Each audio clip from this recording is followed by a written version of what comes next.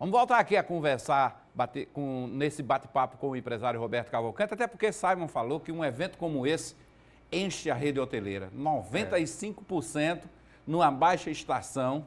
Né? Então a gente tem uma ideia de como Isso. é necessário um equipamento como Imagine o Hotel Imagine a potencialidade que é a renovação do Hotel Tambaú. O Hotel Tambaú sempre estará numa posição de liderança.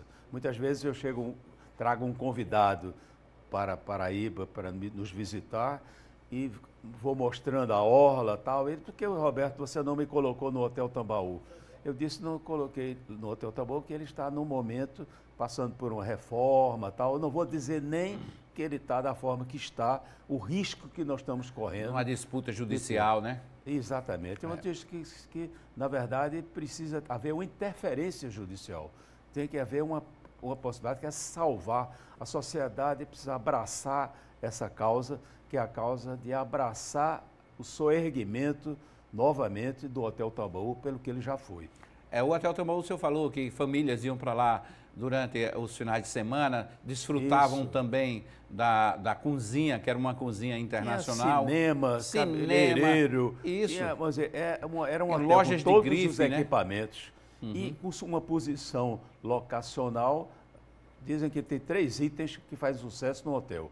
Primeiro é localização, segundo, localização, terceiro, localização. Não tem então, localização melhor. Nem tem melhor localização uhum. na Paraíba de que o Hotel Tambaú. É, aquela feirinha, aquele comércio todinho ali que, que tem na frente, na parte da frente, é, nasceu Começou do dos turistas que se hospedavam ali. Exatamente, começou é. com a... Mas e, eu tenho certeza que nós estamos no Brasil, na qual nós ainda temos fé, confiança na justiça, fazer com que a justiça seja célere, ágil, no sentido de evitar um desastre para Paraíba, um desastre para o Brasil, um desastre para a cultura arquitetônica mundial, que é a demolição ou a invasão do Hotel Tambaú. Por pessoas indevidas. E olha só, é, para quem pegou agora, não acompanhou o primeiro bloco, a gente está falando aqui da necessidade de uma decisão sobre quem vai comandar o Hotel Tambaú. Dois grupos disputam depois que foram a leilão e o leilão foi realizado na Federação do Comércio do Rio de Janeiro. Há uma disputa entre dois grupos, né, um deles do Rio Grande do Norte, que inclusive é. está fazendo investimentos aqui, um dele de paraibanos é, também. E, a, e o Hotel Tambaú, como entidade, está pagando um preço de uma coisa que ela não teve nenhuma responsabilidade. Exatamente. Porque ela foi dada em garantia ao Grupo Varig, quando o Grupo Varig se tornou insolvente, os credores, inclusive o próprio Estado, foi lá e disse, não, esse bem está dado em garantia e agora, razão de ser do leilão. Exatamente, porque ninguém queria avião velho, né? Isso, não é de dívida do hotel. Não, não, nem... não o hotel não, é autossuficiente. Isso, é, foi dado em garantia, uhum. então é lamentável. É. E a gente está pedindo, é. inclusive, a opinião dos telespectadores, o que é que eles acham dessa situação do Hotel Tambaú. A gente tem o resultado aí da, da nossa enquete, vamos, vamos, vamos colocar daqui a pouquinho o resultado da nossa enquete logo no final dos comentários. Você continua votando, dando sua opinião aí no nosso canal do YouTube também, nas redes sociais. E olha só, também a gente está conversando com o doutor Roberto Cavalcante aqui, que a gente está falando do turismo. E tem é. muitos turistas que vêm para cá e ficam, fixam é residências é aqui, né? Eu vou dar um atestado nesse momento de idoso. Eu fui renovar meu cartão de idoso, que é uma facilidade que você tem para vagas de estacionamento do carro, em qualquer lugar, sempre é obrigado a ter o idoso. Eu usufruo desse lado negro, que é o lado de eu já estar ficando tão velho que já tem esse direito. Mas, na verdade, conversando com o funcionário da CEMOB de Cabedelo, porque eu moro em Cabedelo, aí ele disse, doutor Roberto, olha, é impressionante, de cada 20 uh, pessoas que eu atendo aqui para fazer a renovação, que a, a, todo documento tem seu prazo de validade para fazer a renovação, eu tenho hoje 80% de pessoas de fora trazendo os seus cartões. É a pujança do turismo, a pujança da construção civil, a pujança da economia do nosso querido estado da Paraíba e da região metropolitana de João Pessoa. É só quem consegue uh, aferir é pessoas como eu, que tá aqui, assisti de 50 anos para cá esse, esse desenvolvimento. Umas fases de estagnação, mas o momento presente é uma fase fantástica. É nítido, né? Visível. É que a gente visível, pega é a BR, visível, a é BR está visível. sempre lotada. É visível. Isso acontecia É, apenas a em- qualidade de vida de João Pessoa é imbatível como a qualquer outra capital do país. É. Mas eu tenho que correr agora quanto tempo, porque a televisão é isso, é correndo É verdade. Eu quero fazer duas referências, Sim. que é mandar uma saudação aos escritores ah, da Paraíba, a nossa e minha querida Academia Paraibana de Letras, da qual com muita honra eu faço parte, e, na verdade, ah, e num estado na qual 16% de, de pessoas de uma faixa acima de 15, 16 anos são analfabetas. Então, são heróis os escritores, os jornalistas, as pessoas que trabalham com a imprensa, ah, fundamentalmente os, a- a- hoje é o dia do escritor. É, ontem foi, foi marcado pelo décimo aniversário da morte de Ariano Suassuna, né? Um grande representante Isso, dos isso. escritores brasileiros. É emblemático. E hoje, né? Um que é o próprio. dia do escritor. Eu né? tive o privilégio de conviver com Ariano na, ao pende da fazenda lá de, de, em Taperoá, Uhum. de Manelito Dantas, e ah, era imperdível. É, agora que eu, eu também sei que o senhor transitava é, é, nos cartes né, da vida, hoje é o dia do motorista, viu? É hoje é o dia do do, padroeiro do motorista. Eu vou ter, botar, é o dia de São Cristóvão. São Cristóvão. Dia de São Cristóvão e São Tiago, dois, dois santos que fazem parte da minha barreira de proteção.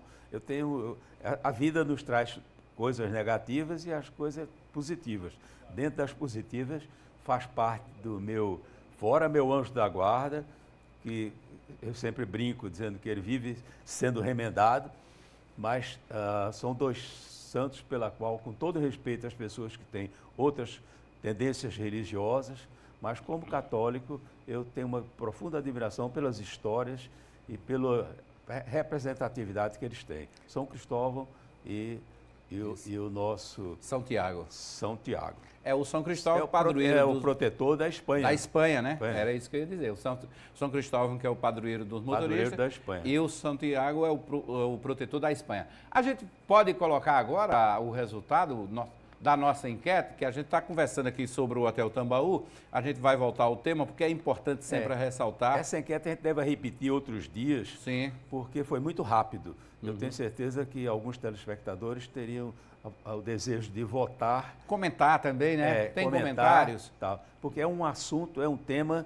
que, na verdade, é um anseio da população paraibana não perder a história, não jogar no lixo a história fantástica de arquitetura, de turismo, de urbanismo, que é a, a- a edificação do Hotel Tambaú.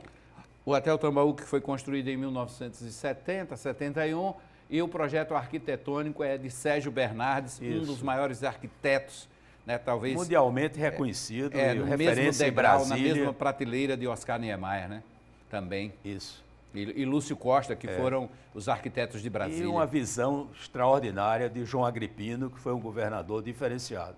É.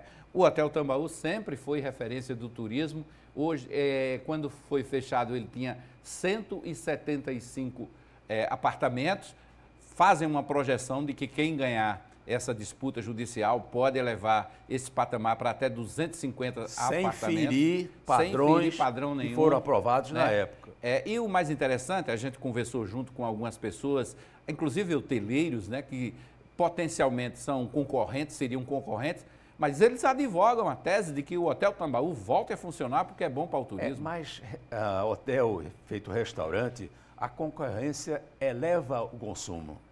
Você pode verificar que muitas vezes determinadas ruas, capitais como São Paulo, por exemplo, são conhecidas como a rua que abriga grandes re- restaurantes. A mesma coisa acontece com hotéis. A Paraíba e a orla de João Pessoa é uma orla belíssima.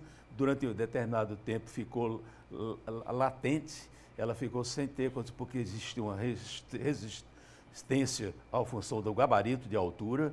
Quando a sociedade se apercebeu que essa lei veio para ficar, essa veio, veio para abraçar uma causa ambiental que é do mundo todo, cada vez crescente.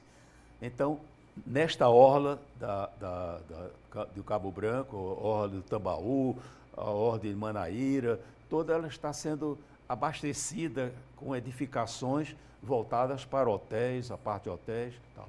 Então, a Paraíba está se preparando para ter condição de abrigar uma demanda que ela passou escanteada do turismo nordestino. Se uhum. dava um salto de Recife para Natal e se esquecia da Paraíba. Paraíba foi essa pérola preciosa que foi cultivada pela natureza. Essa pérola hoje tem uma que foi mistura, natureza, engenharia, arquitetura, que é o Hotel Tambaú. Nós não podemos perder o Hotel Tambaú. Nós não podemos não acelerar a recuperação do Hotel Baú, a reconstrução do Hotel Tambaú. Verdade. Doutor Roberto, mais uma vez, muito obrigado pela participação, pelos comentários. Nossa enquete, como o senhor mesmo propôs, a gente vai trazer na semana que vem esse resultado dessa enquete, que aí a gente continua, né? Inclusive, é. dá tempo também a gente Isso. ouvir outras pessoas, ouvir outros é. segmentos, continuar nessa campanha de salvação do Hotel Tambor. É, e essa causa não é só nossa. Não, não adianta, tem, aqui não tem corrente X, corrente Y. É pelo bem da Paraíba, pelo bem de João Pessoa, o Hotel Tambaú tem que ser preservado, tem que ser retrofitado hum. e espero que nós todos possamos um dia brindar a reinauguração do Hotel Tambaú. Ok, obrigado mais uma vez.